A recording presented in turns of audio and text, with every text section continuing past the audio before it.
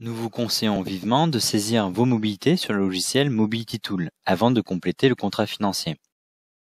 Cela vous aidera à mieux remplir les différents paragraphes de votre contrat et à calculer les montants alloués à chaque mobilité.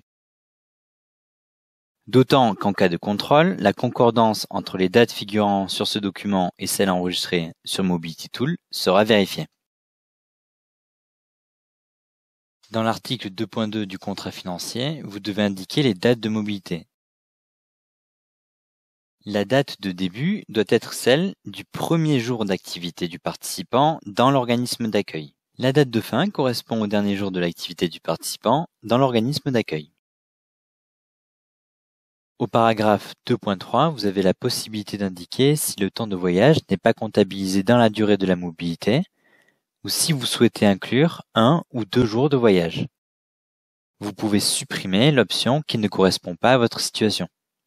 Pour le secteur de l'EFP, dans l'article 3.1, vous devez indiquer le montant pour le soutien individuel et les frais de voyage calculés selon les taux indiqués dans l'annexe 4 de votre contrat.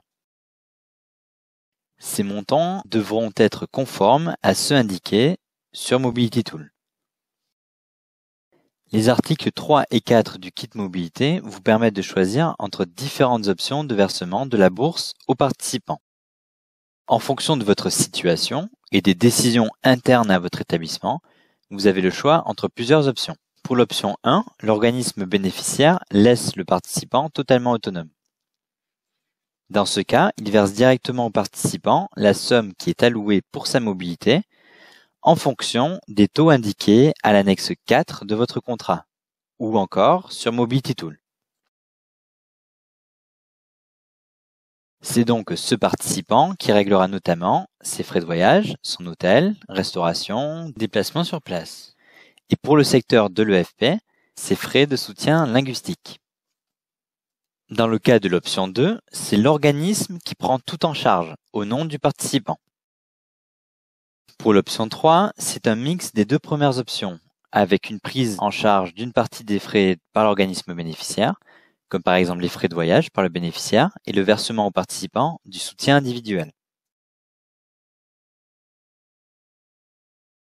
Si vous avez choisi l'option 1 ou 3, vous serez obligé d'indiquer à l'article 4, modalité de paiement, un pourcentage minimum pour effectuer l'avance auprès du participant, appelé aussi préfinancement. Selon le type de public, l'avance doit être effectuée avant le départ du participant, au minimum 50% de sa bourse pour un apprenant ou 70% pour un personnel. Si vous avez opté pour l'option 2 à l'article 3.1, veuillez indiquer ici la mention non applicable.